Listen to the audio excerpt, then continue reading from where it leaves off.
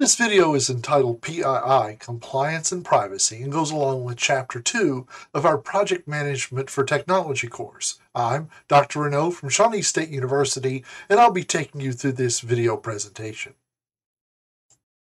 In this video, I'll be covering PII, which is an acronym for Personally Identifiable Information, I'll be discussing two different types of PII, sensitive PII and linkable data, which is also kind of, you can think of it as non-sensitive PII. We'll be talking about PHI or protected health information, and we'll just be talking about confidentiality, the responsibilities that a, that a company and a project should hold, and and the possibilities and, and implications of, of breaching these these privacy and security confidentiality issues. Personally identifiable information, or PII. PII is generally made up of, of two types of PII.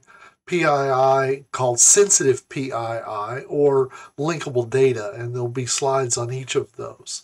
Personally identifiable information is defined by the National Institute of Standards and Technologies, NIST, and in the book there's a link to um, a website and the documentation about those specific standards. The NIST standards define uh, what PI are, the frameworks, controls, and standards for how an ethical and, and how PII are to be properly handled by a system. The reason we're talking about this in a project management course is just to remind you that when we're creating any kind of project, whether it be uh, a software project, a hardware project, a networking project, or any other type of, of technical project. Even if we're we're building a building, we still need to to worry about the leakage and and the proper handling of PII. The first uh, type of PII I want to talk about is sensitive personally identifiable information or SPII. These pieces of information can be used to track an individual's identity. For instance, their name, their social security number, their passport number, their driver's license number, their credit card numbers, their date and place of birth. Now, date of, of birth and place of birth independently aren't identifiable, but when you have them together, that links very closely to a single individual. A fingerprint, DNA markers, voice print, gait recognition. I mean, you can go on and on and on of all of the things that can be used to directly identify a person.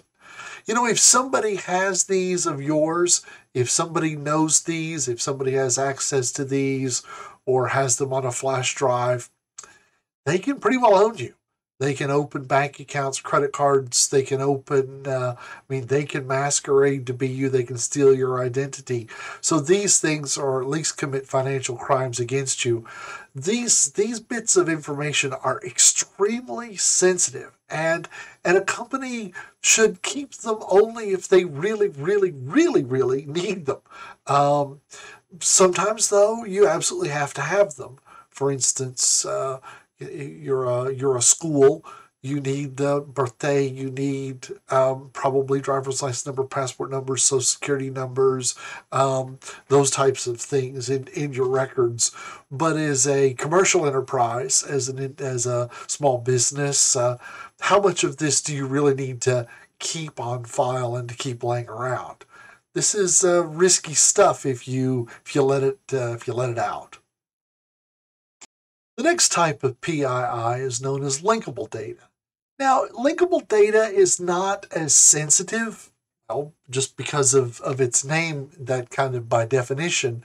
It's things like address, phone, birthday, zip code, IP address, MAC address of, of a computer, which is the network adapter serial number, which your computer shares with websites place of birth, activities, names of children, schools you've attended. Uh, children are listed twice, but you might have more than one.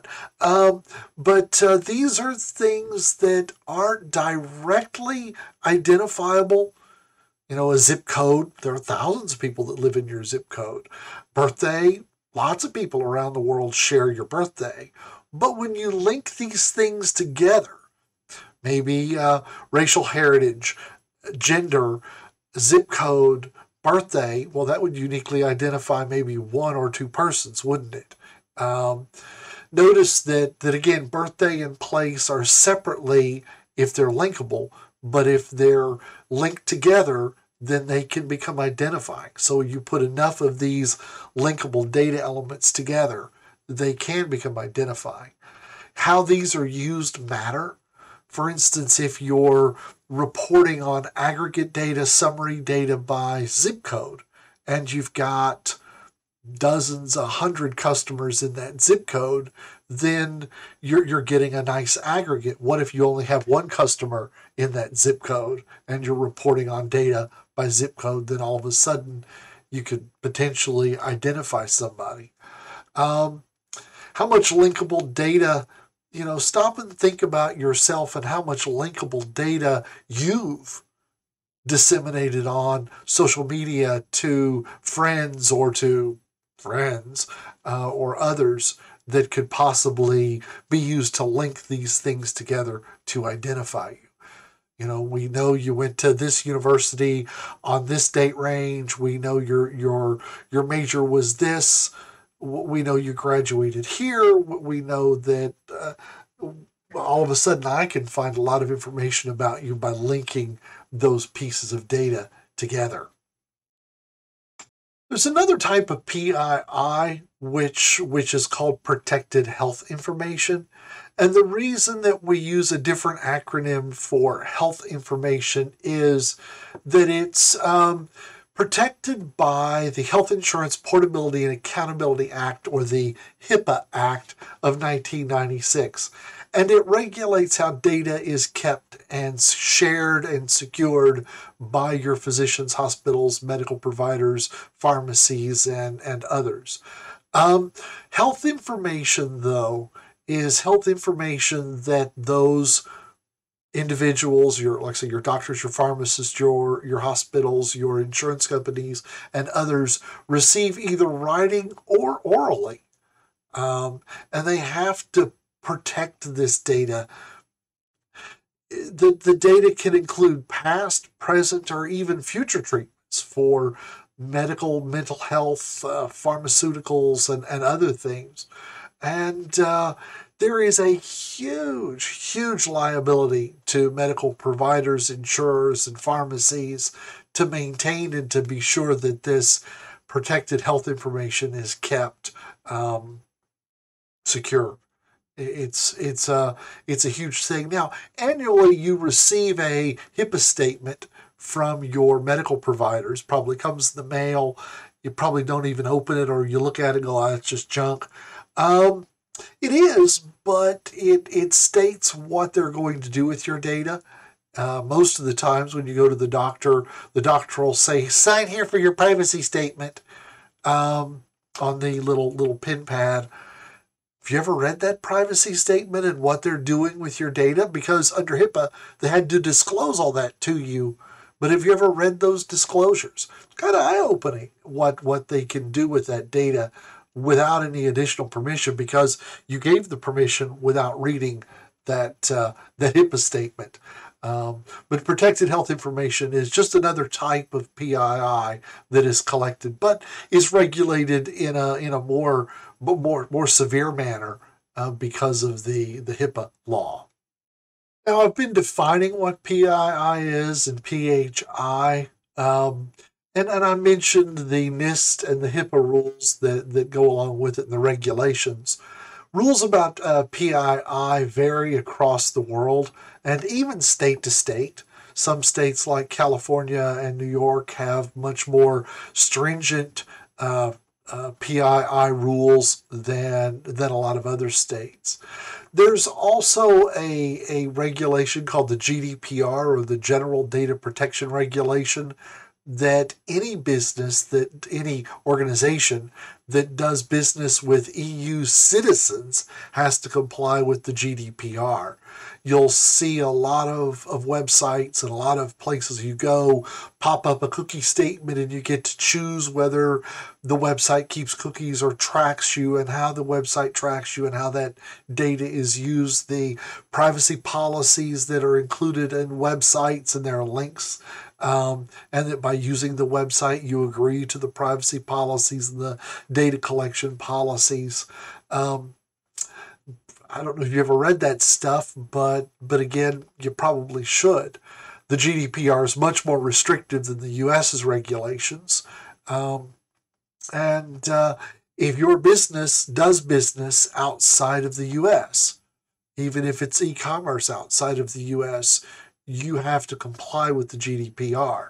So when you're designing a project, when you're building a new project, when you're a technology project, you need to be sure to, or any project that collects data, you need to be sure to to be looking at this. Now, you know, if we're building buildings as our project, or we're we're we're designing shopping malls, or we're or we're, we're building uh, factories, uh, maybe some all of this doesn't apply, but you still have to deal with the PII that belongs to your employees, your vendors, your customers.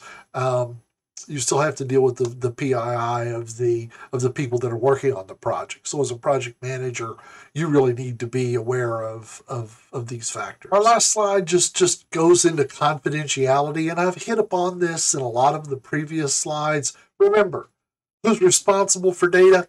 You are you and your organization are responsible for the proper collection, dissemination, and protection of data. You know, when you're planning a project, especially a tech project, you must understand the PII you're collecting that you need. Don't collect anything you don't need. And understand the risks that you're putting your organization under by collecting that data. You know, what damage will be done to the company if the data is breached? Just exactly how much is this going to cost in dollars and reputation?